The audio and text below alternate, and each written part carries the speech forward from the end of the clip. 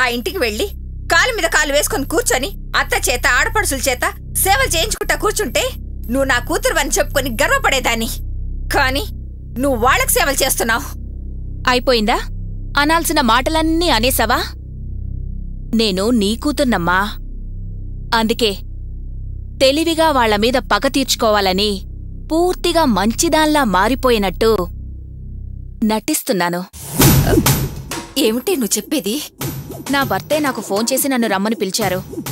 ఇక ఏ సమస్య ఉండదనుకునే అక్కడికి వెళ్ళానమ్మా. కానీ ఆ రోజు రాత్రి అక్కడేం జరిగిందో తెలుసా? నిజంగానే చెప్తున్నానమ్మా. ఇక మీదట నువ్వు చెప్పినట్టే నడుచుకుంటాను. సరేనా?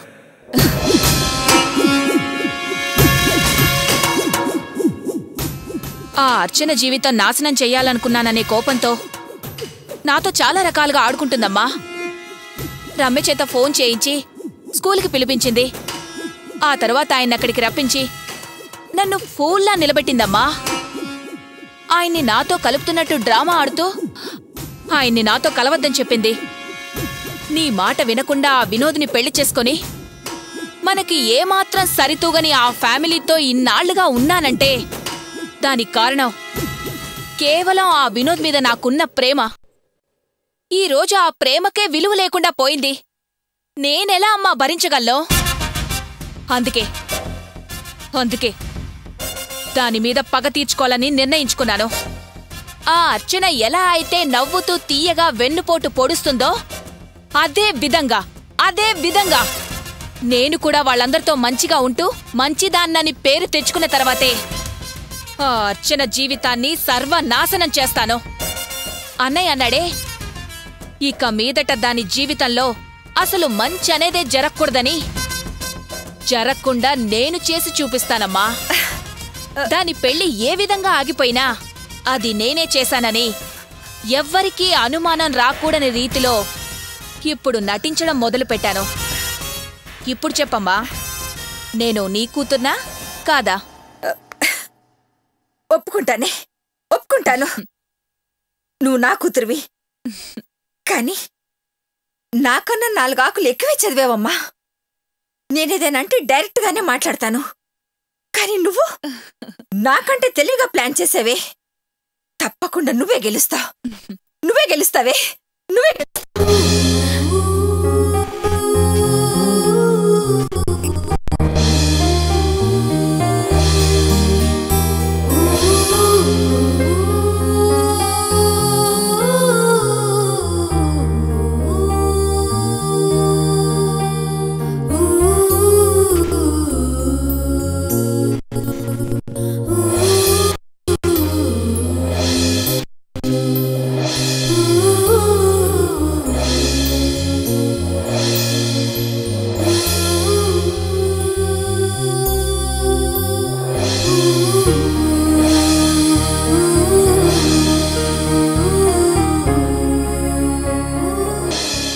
నువ్వేం చేసినా ఏం చెప్పినా నేను నిన్ను ప్రేమించట్లేదు పెళ్ళి చేసుకోవట్లేదు. అంతే.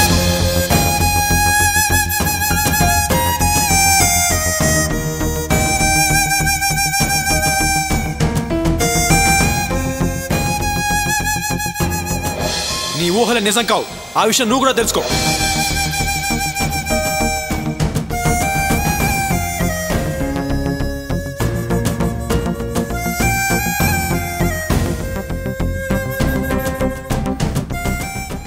నందిని నందిని టిఫిన్ చేద్దాం రామ్మా.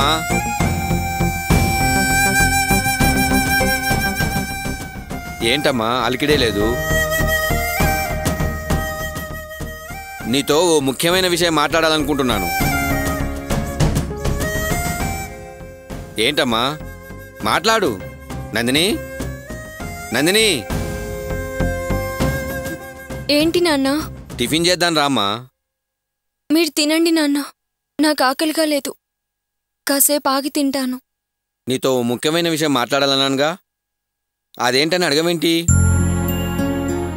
నా ఫ్రెండు శ్రీనివాసరావు ఉన్నాడు కదమ్మా. వాడి దగ్గర నుంచి ఫోన్ వచ్చింది. దాదాపు నేను కోరుకున్నటువంటి సంబంధమే. శ్రీనివాసరావుకి ఓ కజిన్ ఉన్నాడు. వెంకటపతి అని ఆయన నాకు బాగా తెలుసులే. వాళ్ళ రెండో అబ్బాయి ఆ అబ్బాయిని కూడా నేను చూశాను. ఏ దురలవాట్లు లేవు. మంచి పిల్లాడు తెలివైనవాడు. వెళ్ళి మూడేళ్ళు అయిందో లేదో అమెరికాలో ఫ్లాట్ కూడా కొన్నాడట. ఆ అబ్బాయికి నిన్ను అడగమని శ్రీనివాసరావుకి చెప్పాడట. ఆలోచించి చెప్తానని చెప్పానమ్మా. వాళ్ళు రేపే పెళ్ళి చేద్దామన్నా రెడీ అంటున్నారు. నాకు కూడా మంచి సంబంధమే అనిపిస్తుంది. మరి నువ్వేమంటావమ్మా? నందిని? నందిని? ఏంటి నాన్న? ఏం చేద్దామని నేను అడుగుతుంటే నువ్వు అలా మౌనంగా ఉంటే ఎలాగమ్మా? నీ అభిప్రాయం ఏంటో నేను కూడా తెలుసుకోవాలిగా? చెప్పమ్మా. ఏదో ఒకటి చెయ్యండి నాన్న. నన్ను అడగడం ఎందుకు? అయితే నీకే అభ్యంతరం లేదుగా? ఏం లేదు. మీ ఇష్టం. థ్యాంక్స్ అమ్మా. నాకు చాలా సంతోషంగా ఉంది. అయితే వాళ్ళని రేపే రమ్మని చెప్తాను.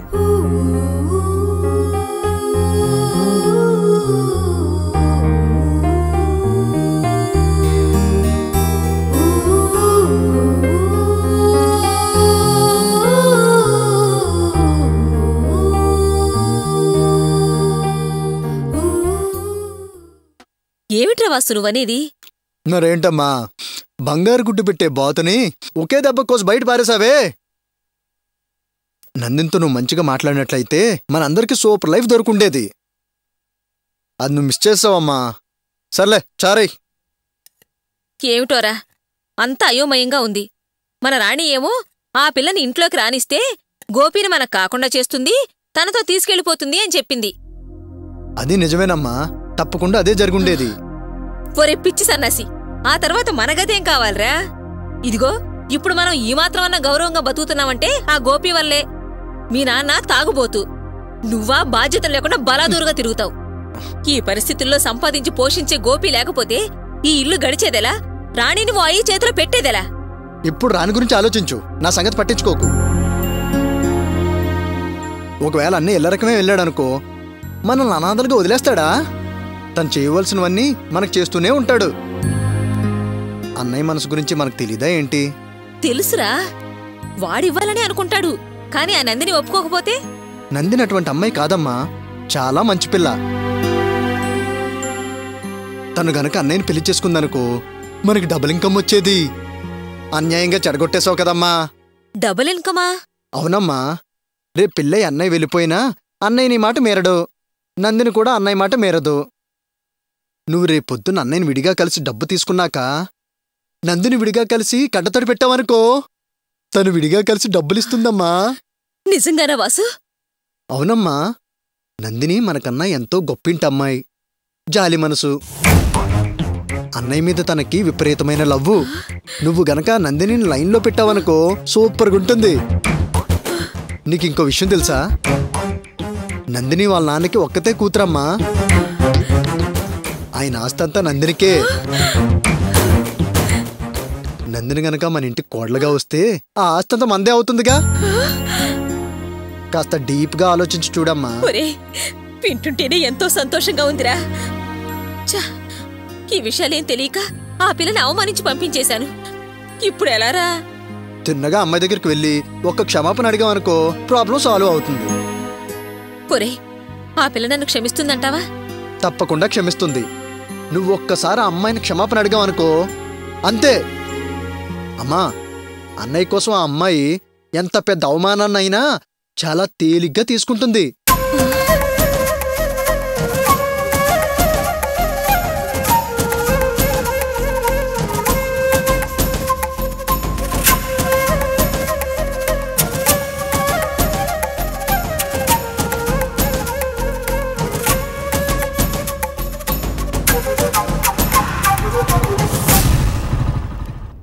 అమ్మా అన్నయ్య వచ్చేసాడు. మనం తర్వాత మాట్లాడుకుందాం. సరే.